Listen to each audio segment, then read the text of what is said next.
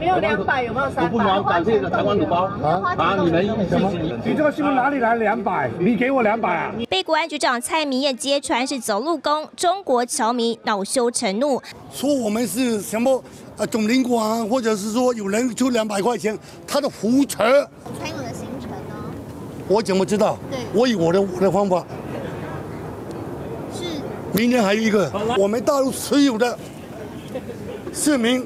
都是拥护我们习近平，连了一辈子，你们也没有一辈子，没有中国政府背后支持，却能精准掌握蔡总统行程。中国侨民不止神通广大，还要管台湾媒体怎么称呼自家总统。其实，所以您的意思是说，呃，蔡总统在美国几天，你们就会一直看？不能说总统啊，他是一个地区性。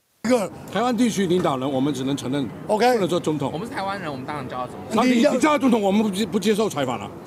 那你自己自己自己访问自己了啊！所以你们这几天都会一直不断的来看。明天我九点还在他门口。自发性的抗议，没人给钱，还准时报道，这工作做的真到位。各位观众，总统蔡英文呢出访中美洲，过境纽约，来到第二天。而第二天晚间的重头戏呢，就是来到美国智库，也就是哈德逊研究所了，来接受颁奖，并且发表演说。不过我们守候在现场呢，您可以看到呢，这个中国驻美的大使馆呢。是动员了近百名的民众，高举着五星旗来到现场抗议。中国统派团体各种骚扰，纽约警方不敢掉以轻心。毕竟四年前统派挺蔡两派冲突事件再次上演，但双方早就隔空交战。报纸头版，海外信赖台湾后援会下了半版广告，欢迎总统蔡英文莅临纽约。再翻个几页，还有中国民运团体发表力挺宣言。报纸最后才是中国同派团体下的全版面。抗议广告，蔡总统过境美国，两岸侨民也从陆战打到空战。经新闻湾请刘威婷纽约随行采访报道。